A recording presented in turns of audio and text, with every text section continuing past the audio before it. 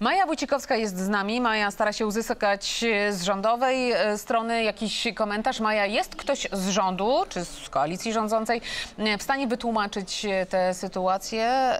Skąd ten podpis premiera pod, tym, pod tą nominacją? Tłumów do tłumaczenia tej sytuacji, wła- zwłaszcza w Platformie Obywatelskiej, dzisiaj tutaj nie ma. Nie wszyscy chcą rozmawiać o tym, co się stało i e, tłumaczyć, czy doszło do pomyłki, czy było to celowe działanie, czy na przykład, jak już padło wśród pytań Konrada Piaseckiego, to była jakaś umowa po spotkaniu e, premiera Donalda Tuska z prezydentem Andrzejem Dudą. Nieoficjalnie z rządu wiem, że takiej umowy nie było na tym spotkaniu, na okręcie takiej rozmowy nie było. Tutaj nie było e, jakiejkolwiek transakcji za poparcie prezydenta dla kandydatury Piotra Serafina na unijnego e, komisarza. No pytanie, e, co w związku z tym Donaldem Tuskiem kierowało, że złożył podpis na tej decyzji prezydenta, na postanowieniu o tym, że to neosędzia będzie kierował zgromadzeniem, które ma wybrać prezes bądź prezeskę Izby mm, Cywilnej Sądu Najwyższego.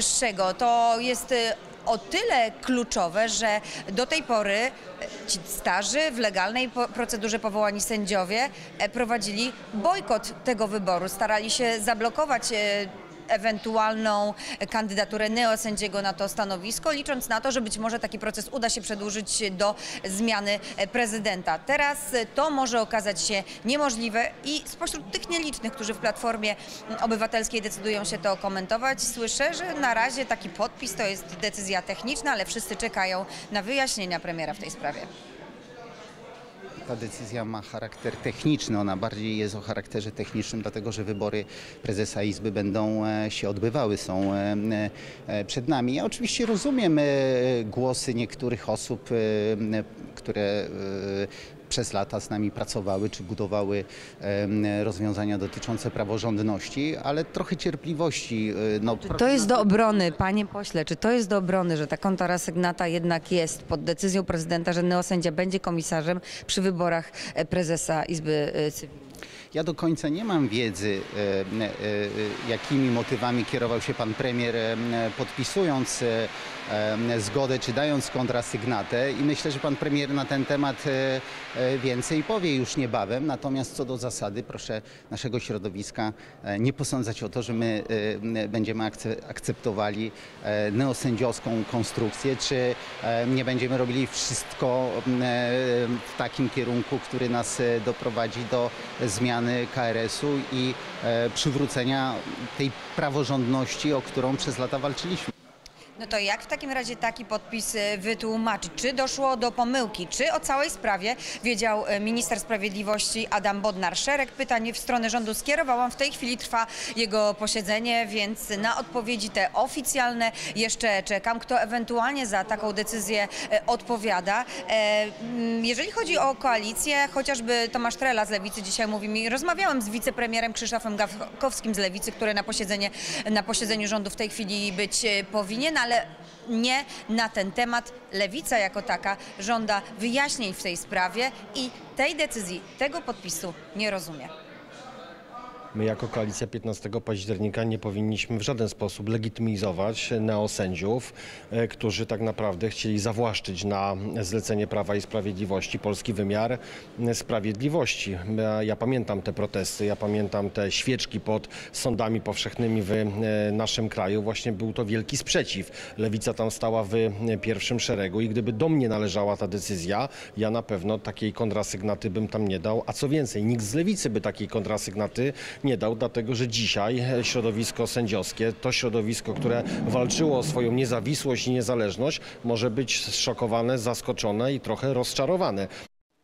To głos koalicjanta z Lewicy, ale w trzeciej drodze też e, krytyka i brak zrozumienia, oczekiwanie na wyjaśnienia ze strony e, premiera e, w tej sprawie i pewne zrozumienie dla krytycznych głosów ze środowiska sędziowego, sędziowskiego. Krystian Markiewicz z Justicji napisał o skrajnie negatywnym zaskoczeniu decyzją premiera i o tym, że to decyzja, która może przyczynić się do zabetonowania pisowskiej patologii w Sądzie Najwyższym.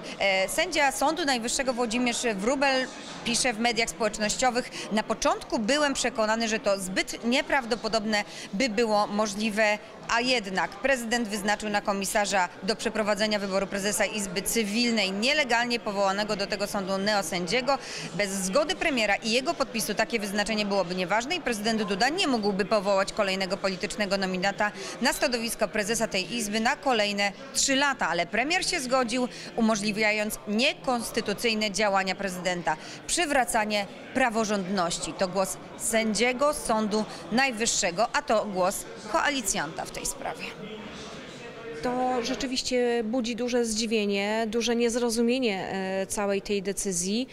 E, Jak najbardziej jesteśmy za tym, żeby neosędziowie mieli e, w pewien sposób ograniczane możliwości w tych momentach, kiedy to politycy podejmują decyzje do tego, aby awansować czy zajmować wysokie stanowiska, z tego względu, żeby odpolitycznić wymiar sprawie- sprawiedliwości w końcu. Natomiast znając Donalda Tuska, premiera, wiedząc jakim jest politykiem, możemy przypuszczać, że ta decyzja jednak miała jakieś drugie dno.